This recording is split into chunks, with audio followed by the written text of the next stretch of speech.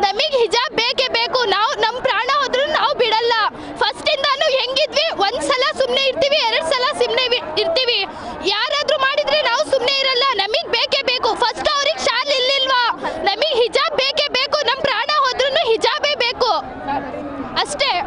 ನಾವು ಏನಾದ್ರೂ ಮಾಡ್ತೀರಾ? ಅವ್ರು ಏನಾದ್ರೂ ಮಾಡಿ ರ್ಯಾಗಿಂಗ್ ಎಲ್ಲ ಮಾಡ್ತಾರೆ ಹುಡುಗರು ಇದು ಮುಸ್ಲಿಂ ಹುಡುಗಿರಿಗೆ.